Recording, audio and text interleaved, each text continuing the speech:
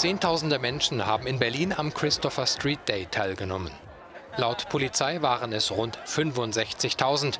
Angemeldet war eine Veranstaltung mit 20.000 Personen.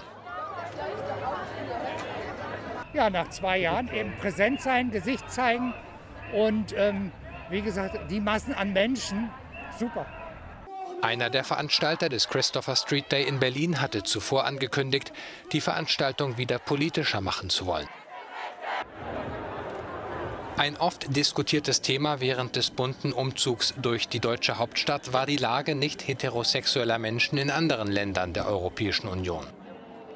Was in Ungarn, was in Polen passiert, was in Europa generell passiert, hat Auswirkungen auch auf Deutschland, auf Frankreich, auf alle anderen Länder. Und wir sehen gerade die Bewegung, was in Polen gestartet ist mit den LGBT-freien Zonen, was jetzt in Ungarn passiert, dass das auch nochmal den ganzen Hass und die, auf uns äh, verstärkt.